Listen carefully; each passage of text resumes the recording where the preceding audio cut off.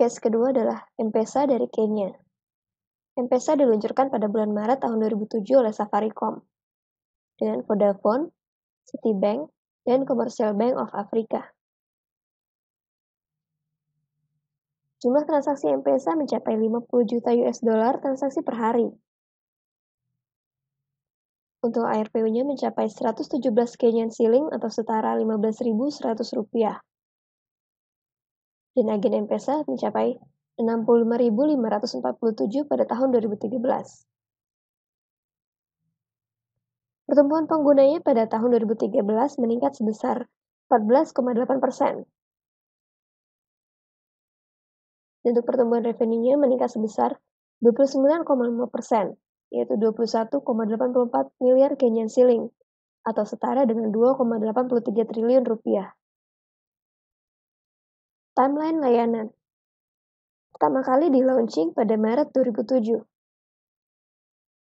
Kemudian pada tahun 2008, M-Pesa bekerja sama dengan outlet dan membangun fitur tarik tunai di ATM M-Pesa Point. Di tahun 2009, M-Pesa memiliki fitur pembayaran tagihan listrik,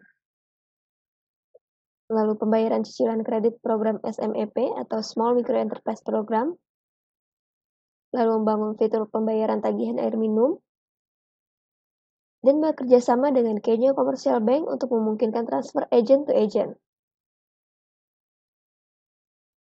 Pada tahun 2010, M-Pesa membangun layanan Show untuk mobile banking dan bekerja sama dengan Equity Bank.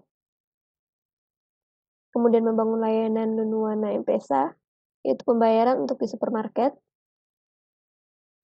Kemudian membangun perjanjian kerjasama dengan INM Bank untuk dapat transfer dari M-Pesa ke kartu M-Pesa Prepay Safari atau kartu prabayar Visa Internasional. Kemudian melakukan pembayaran dividen di Safaricom, M-Ticketing menggunakan M-Pesa. Lalu pada tahun 2011,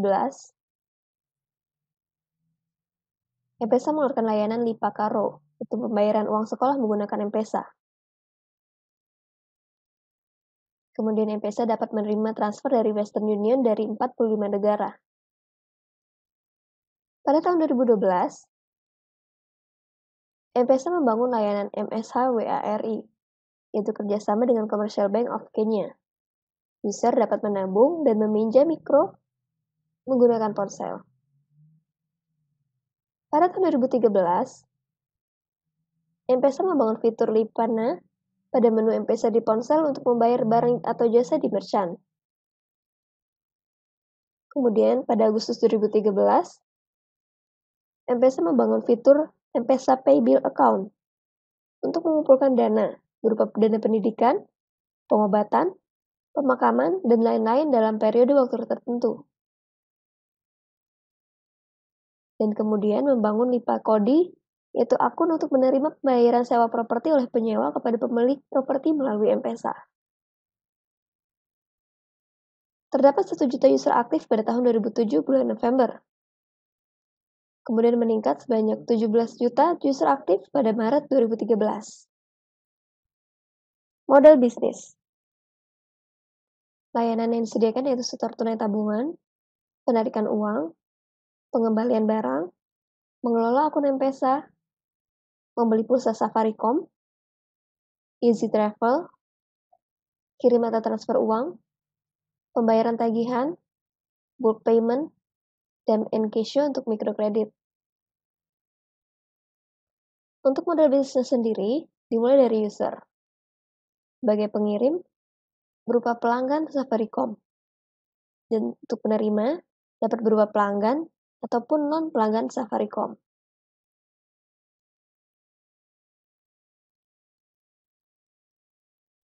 Saat user melakukan transfer, akan dikenakan biaya transfer atau layer price yang diberikan kepada issuer dan acquirer. Safaricom fee transfer mencapai 3 hingga 5 persen. Kemudian untuk model bisnis antara issuer dan acquirer terhadap network operator, digunakan license fee sesuai agreement di awal pendirian, yaitu sebesar 25% dari revenue kuartal. Dan untuk model bisnis antara user dan acquirer terhadap agent, menggunakan komisi sampai dengan 50% dari revenue transaksi M-Pesa. Agent Network Di awal berdirinya, agen M-Pesa adalah agen distribusi airtime. Banyak 300 agen.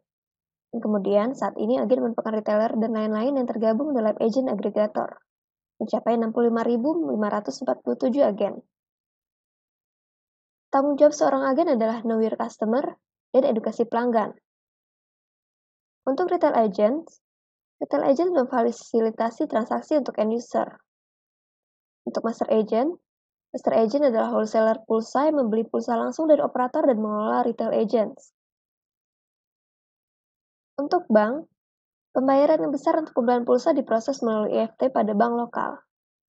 Dan untuk sales team, Tim khusus dalam mobile operator biasanya ditugaskan untuk mengelola master agents dan melakukan rekonsiliasi pembayaran penjualan pulsa. Mengapa pesa sukses? Menurut Kenya's Independent Financial Sector Deepening Trust, 90% yakin uang yang dimiliki aman dengan M-Pesa. 96% responden menilai M-Pesa mudah digunakan. Dan 84% responden mengatakan bahwa kehilangan M-Pesa akan mengakibatkan dampak negatif yang sangat besar. Key success factor M-Pesa yang pertama adalah large market share. Market share Safaricom di Kenya mencapai lebih dari 80% saat peluncuran layanan. Dan 20% lainnya dipegang oleh lainnya. Key success factor yang kedua adalah building thousand trusted agents. Key success factor yang kedua adalah building thousands trusted agents. Kepercayaan. Safaricom memilih agen dengan banyak pertimbangan untuk menjamin integritas tinggi pada agen. Safaricom juga banyak berkomunikasi dengan user. Apabila server lambat, Safaricom akan mengkomunikasikannya pada user. Jumlah pos bank branch mencapai 440, total post office mencapai 800, bank branch mencapai 840, Jumlah ATM mencapai 1.510, M-Pesa Agent mencapai 17.650, dan airtime reseller mencapai 100.000. Key success factor yang ketiga adalah harmony relationship. M-Pesa membangun hubungan yang baik dengan regulator dan bank lainnya. Safaricom tidak pernah berselisih dengan regulator. Safaricom melibatkan bank sentral dari awal. Perusahaan ini selalu berusaha mengakomodasi pertimbangan regulator dan industri perbankan. Pemerintah Kenya selalu menyuarakan kekhawatiran akan kriminal yang menggunakan layanan untuk money laundry, dan pada tanggal 4 Mei 2009 telah memerintahkan Bank Sentral untuk mengaudit layanan M-Pesa. Safaricom melewati audit dan secara proaktif memberikan data kepada regulator. Bank Sentral pun mengumumkan bahwa layanan ini aman dan sesuai dengan tujuan finansial pemerintah. M-Pesa merupakan joint venture dari Vodafone, Safaricom, Citibank, dan Commercial Bank of Africa. Key success factor yang keempat adalah quick response. Respon cepat untuk memenuhi kebutuhan pelanggan. Safaricom dengan cepat mengubah fokus dari repayment of microloan untuk membantu masyarakat membuat pembayaran remittance P2P untuk keluarga dan teman telah mengetahui pilihan konsumen untuk transfer P2P dalam sebuah survei di awal layanan diluncurkan. Sebanyak 29% memilih layanan Receive Money, 25% memilih Send Money, 14% memilih Store atau Save Money for Everyday Use, 14% memilih Buy Airtime for Myself, 8% memilih Buy, buy Airtime for Someone Else, 7% memilih store atau save money for emergency, 2% untuk pay bills, dan 1% none of this.